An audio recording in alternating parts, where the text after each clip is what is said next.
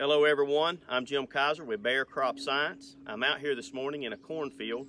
We're evaluating some corn and I'm doing some nitrogen recommendations for one of our growers.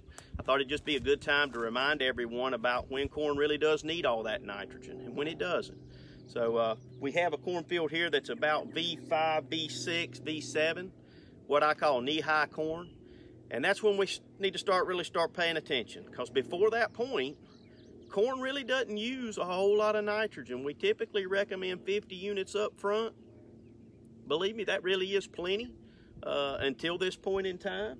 But now things are changing. Um, if you look at the nitrogen response curve in corn, uh, until that V6, V7 stage, curve's pretty flat. It's not using a whole lot of nitrogen at all. But at that point in time, the curve ramps straight up and it'll take every bit of nitrogen through reproduction that it can get. That's when we have to be sure that we have plant available nitrogen in the soil profile for the corn plant.